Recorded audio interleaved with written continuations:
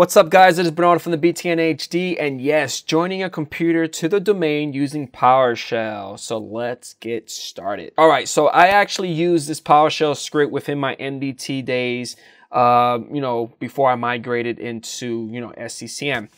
But uh, I used to join all my machines using a PowerShell at the very end of my MDT task sequence uh, and then it restarts and then it was part of the domain. So I'm going to show you guys what I've used in the past. If you guys are using something else, you know, let me know at the comment section because I would like to learn something new.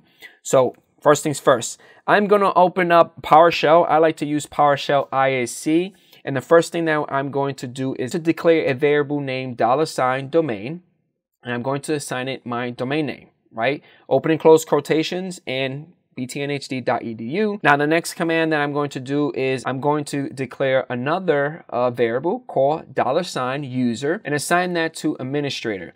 Now, your user might be a little different depending on what account you use to add your computers into your Active Directory, so just add it there. Now, the second command that I'm going to use is I'm going to declare another variable and it's called password.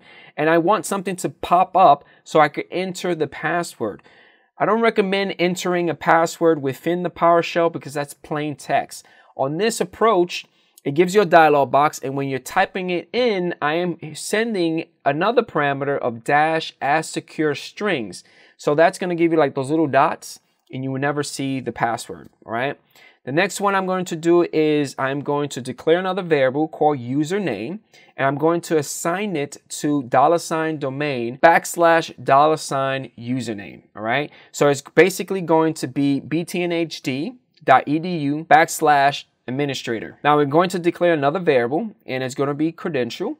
And I'm going to assign that to new object with a system management automation .ps credentials and inside the inside this function, I'm going to call out my variable username and also the password. Once I do that, I'm going to do the following. I'm going to call out add computer with a parameter of dash domain name, dollar sign domain, right? And then another parameter of dash credentials. And then I'm going to call out the variable credentials. Now, last but not least, the last thing that we need to do from, to make everything work is to restart the computer.